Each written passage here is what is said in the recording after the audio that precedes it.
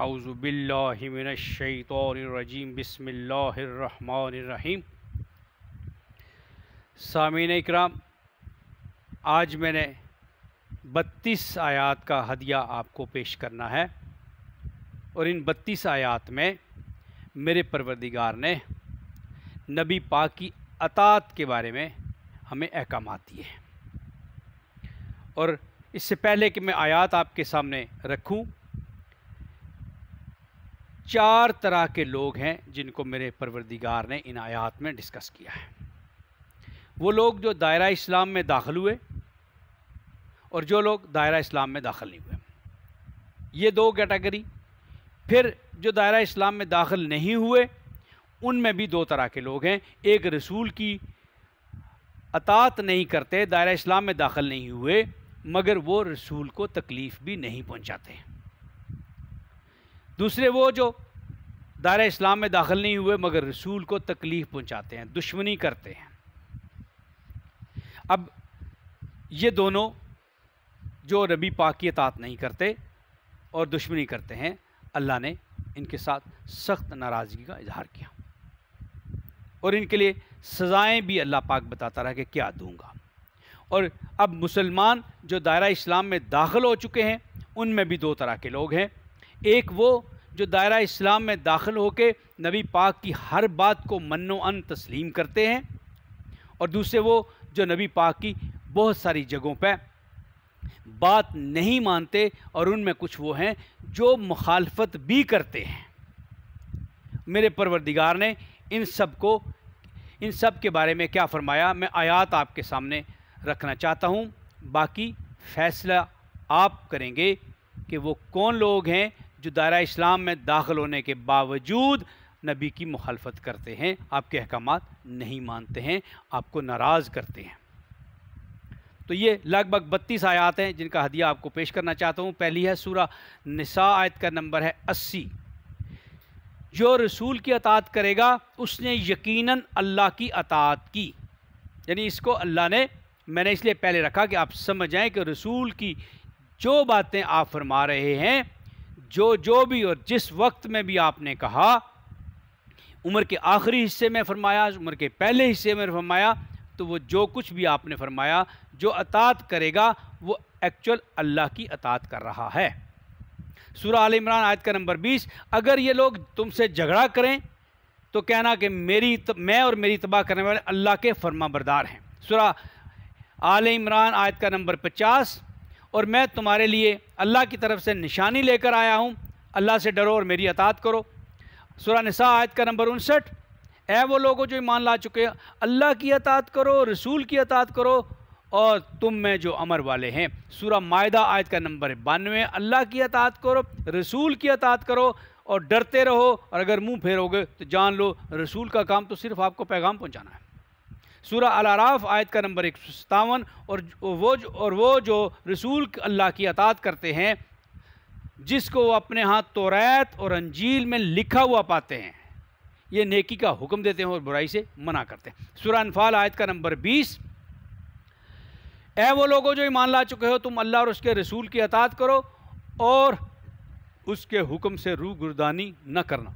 सूरा नूर, आयत का नंबर चौवन कह दो, तुम अल्लाह ताला की अतात करो, रसूल की अतात करो, बस अगर तुम मुँह फेरोगे, उस पर वही है जो उन्होंने किया और तुम पर वही है जो तुमने किया। और जो रसूल की अतात करेगा, वो हदायत पा जाएगा। सूरह तगाबन आयत का नंबर है बारह। और अल्लाह और उसके रसूल की अतात करो। और अगर तुम मुँह फेरोगे तो रसूल के ज़ुमे सिर्फ़ पहुँचा देना ही है। सूरह तगाबन आयत का नंबर है सोलह। जहाँ तक हो सके अल्लाह से डरो, उसकी बात को सुनो और उसकी अतात करो और जो उसने दिया है, उसमें से खर्च करो। सूरह ज़ुखरफ, आयत का नंबर तिरसठ, जब ईसा निशानियाँ लेकर आए तो कहने लगे, मैं दानाई लाया हूँ, मैं हिकमत लाया हूँ। तो अल्लाह से डरो और मेरी अतात करो।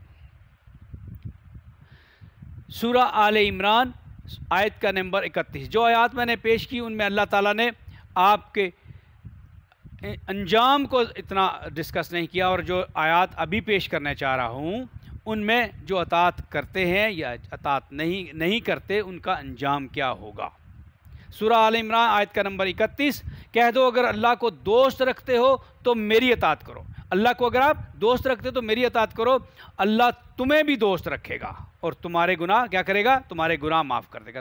दो बातें अल्लाह ने की कि तुम्हें दोस्त भी रखेगा और तुम्हारे गुनाह भी माफ़ कर दे। सूरा आल इमरान, आयत का नंबर एक सौ बत्तीस। अल्लाह और उसके रसूल की अतात करो ताकि तुम पर रहम किया जाए। सूरा निसा, आयत का नंबर तेरह। जो शख्स अल्लाह और उसके रसूल की अतात करेगा, उससे अल्लाह जन्नतों में दाखिल करेगा। सूरा निसा, आयत का नंबर उनहत्तर। जो अल्लाह ताला उसके रसूल की अतात करेगा तो वो उन लोगों के साथ होंगे जिन पर अल्लाह ने इनाम किया है, जो अल्लाह के पसंदीदा लोग हैं। अब नतीजा देखें कि क्या करेगा? दोस्त रखेगा, तुम्हारे गुनाह माफ़ कर देगा, तुम पर रहम करेगा और तुम्हें जन्नतों में दाखिल करेगा उन लोगों के साथ शामिल करेगा जिन पर उसने इनाम किया है। सुरह अनफाल आयत का नंबर चौबीस है वो लोगों जो ईमान ला चुके हो, जिस वक़्त रसूल तुम्हें किसी बात से मना करें, किसी बात की तरफ़ बुलाएँ, ताकि वो तुम्हें ज़िंदगी बख्शें तो अल्लाह और उसके रसूल का हुक्म मानो। सूरह अल अराफ आयत का नंबर एक सौ अट्ठावन, और अल्लाह पर और उसके रसूल पर और तमाम कलाम पर ईमान रखो, ईमान लाओ, उसकी पैरवी करो। क्या होगा? तुम हदायत पा जाओगे। सूरह नूर आयत का नंबर है छप्पन। तुम नमाज़ कायम करो, ज़क़़त अदा करो, रसूल की अतात करो, ताकि तुम पर रहम किया जाए। और अब उन लोगों का तस्करा करना चाहता हूँ, जो दायरा इस्लाम में आने या रसूल की मुखालफत करते हैं। आने के बाद सूरा आल इमरान आज का नंबर है बत्तीस। कह दो, अल्लाह और उसके रसूल की अतात करो, जो ऐसा न करेगा, उसका नतीजा क्या होगा? अल्लाह उसे काफ, ऐसे काफरों को दोस्त नहीं रखता। सुरसा आयत का नंबर बयालीस। उस रोज़ काफर और रसूल, उस रोज़ काफर और रसूल की अतात न करने वाले ये आरज़ू करेंगे, ये तमन्ना करेंगे कि काश हमें ज़मीन में दफन कर दिया जाए और ज़मीन ऊपर से बराबर कर दिया। सूरह इनफाल, आयत का नंबर एक। ए रसूल, लोग तुझसे फालतू माल के बारे यानी जंग, जंगों में जो माल बच जाता था, आप जैसे तकसीम करते थे, लोग नाखुश नाखुश होते थे, आपसे नाराज़गी का इजहार करते थे, ऐसे लोगों के बारे में, ये वो लोग हैं जो दायरा इस्लाम में दाखिल हैं और रसूल की हर फैसले को मनोन तस्लीम नहीं करते। ए रसूल लोग तुझसे फालतू माल के बारे में पूछते हैं, कह दो कि ये फालतू माल अल्लाह ताला और उसके रसूल का है, बस तुम अल्लाह ताला से डरो और आपस में भी सुलह रखो। अगर तुम मोमन हो तो अल्लाह और उसके रसूल की अतात करते रहो। सूरह अनफाल आयत का नंबर है तेरह। ये इसलिए कि उन्होंने अल्लाह ताला और उसके रसूल की मुखालफत की और जो शख्स अल्लाह ताला और उसके रसूल की मुखालफत करेगा, बस वो समझ ले, अल्लाह ताला उस पर सख्त अजाब करने वाला है। सूरह अनफाल आयत का नंबर है छियालीस।